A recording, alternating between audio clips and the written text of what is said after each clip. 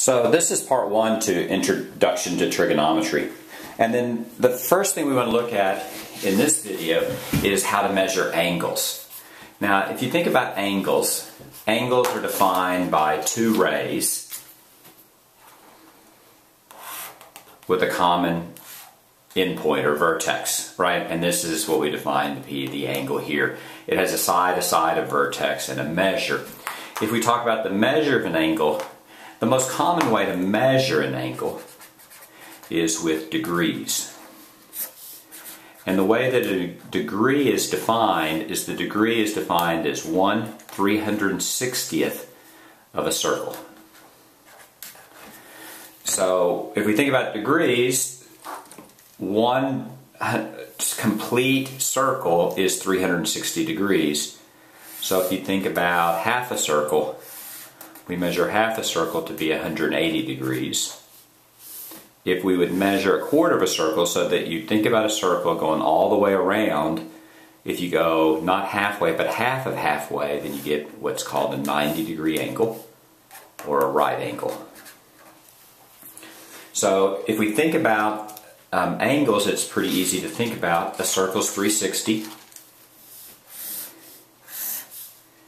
Um, would be 180. If we start here and go to here, it's 180. This would be 90. Half of that would be 45. And from there, we kind of see what a 30 degree angle looks like. A 30 degree angle is about here. Right? Less than 45, more than 90. If you think about a 60 degree angle, a 60 degree angle would be a little bit less than 45. I'm sorry, a little bit more than 45, but less than 90. So if this is 90 and this is 45, then if you think about a 60 degree angle, looks roughly like this. Now obviously you can use a protractor to get a more exact measure, but that's what we mean when we say measuring angles with degrees. And that's a common way to measure it, but usually in more advanced math we use what's called a radian. So let's define what a radian is. A radian is defined as 1 over 2 pi of a circle. So rather than dividing a circle into 360 parts and defining each part as a degree, what we're going to define is a circle which is divided by 1 over 2 pi parts and each part is going to be called a radian. The easiest way to put some examples to that. Let's think about us having a circle. If we have a circle, all the way around is 2 pi. So if we think about halfway, halfway would be pi. So the distance from here to here, the measure of that angle is pi.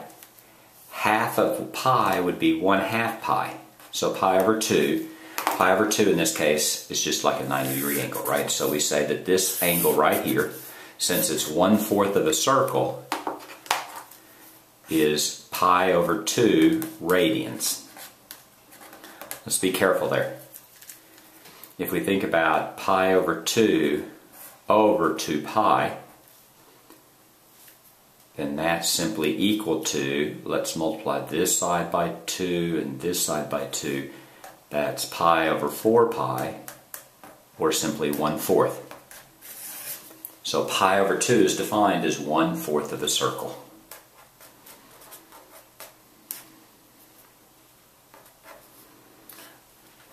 Uh, another way to think about it is it's just 90 degrees. Pi over 2 is the same as 90 degrees.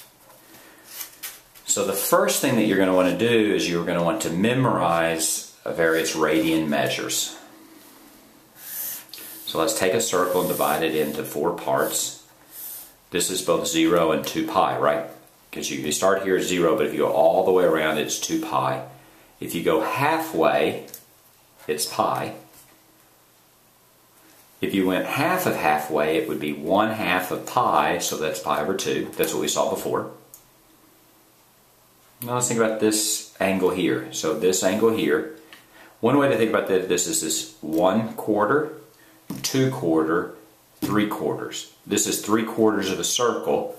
Each quarter is pi over 2, so that's 1 pi over 2, 2 of pi over 2, 3 pi over 2.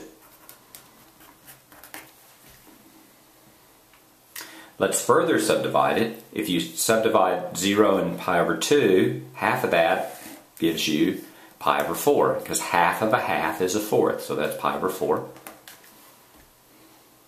If we split this quadrant here, let's think what this angle here is going to be. That's 1, 2, 3, three parts, so it's 3 pi over 4. Let's split this side. 1, 2, 3, 4, 5. That's 5 pi over 4. And 1, 2, 3, 4, 5, 6, 7. That's 7 pi over 4.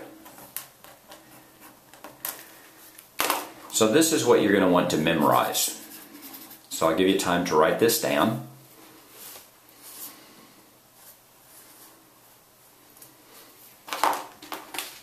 In addition to that, there are two other very common ones that you want to memorize. And that's pi over 3 and pi over 6. You could always work out what these are, but they're so common you want to memorize them. Pi over 3 is going to be this equivalent to 60 degrees, and pi over 6 is going to be 30 degrees.